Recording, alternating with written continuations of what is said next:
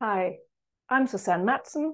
Welcome to this whiteboard session on what we can learn from Google about high performing teams. You see, some years ago, Google set out to study why some of their teams were much better performing than other teams. They call this project for Project Aristotle, and you can go and look that up separately if you want to read about all the details. In this study, they looked at teams across the business, and they looked at many different kinds of parameters. What was it that made the difference to high performance? Was it the team's skill levels? Was it how much money they were paid? Was it the amount of flexibility they, they received? They looked at all different kinds of parameters.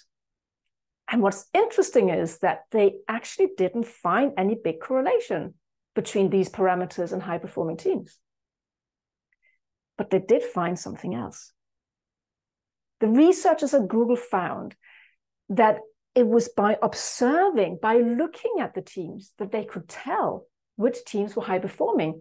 Because it turns out that the communication patterns and the behaviors of high performing teams are quite different to those that are not as well performing.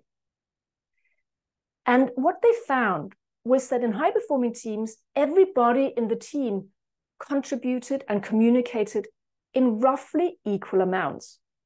So if you imagine that you have a team of, let's say, six people, you have probably experienced in your own career that maybe three or four of these six people tend to do most of the contribution, most of the decision making, most of the talking. But that's one of the key differentiators. In high performing teams, everybody contributes and communicates in roughly equal amounts. And everybody communicates with everybody, not just with the leader or the manager of the, of the team. So Google then set out to investigate okay, if in high performing teams, everybody contributes and makes decisions in roughly equal amounts, what is it that leads to that behavior? And this is where they found psychological safety as being such an important concept. And we've heard quite a bit about psychological safety in the last couple of years, and with good reason.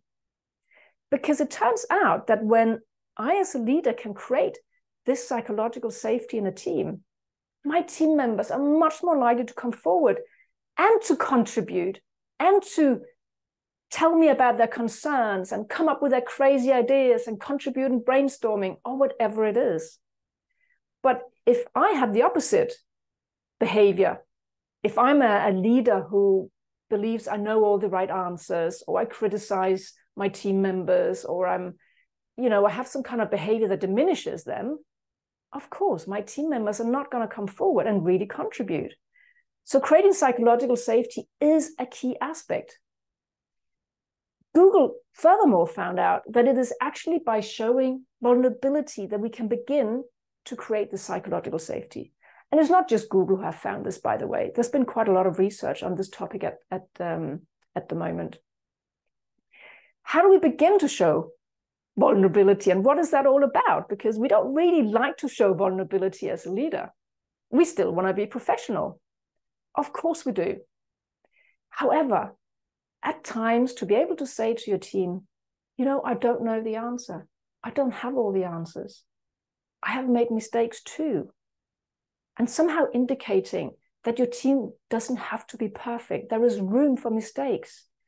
That makes everybody more likely to come forward and contribute.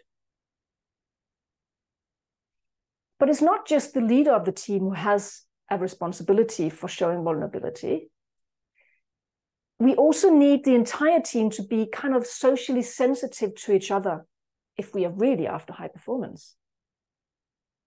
What this means is that the more extroverted people will make space, they will kind of um, calibrate themselves, be sensitive to others, and make more space so that the introverted people will feel more comfortable to step forward and to also speak.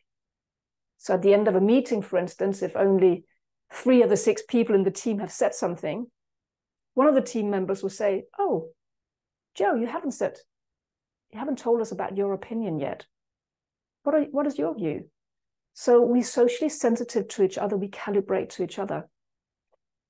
There are many other factors that matter for high performance. But these factors, emotional intelligence, creating space for each other, is definitely one of the cornerstones. Thank you for watching.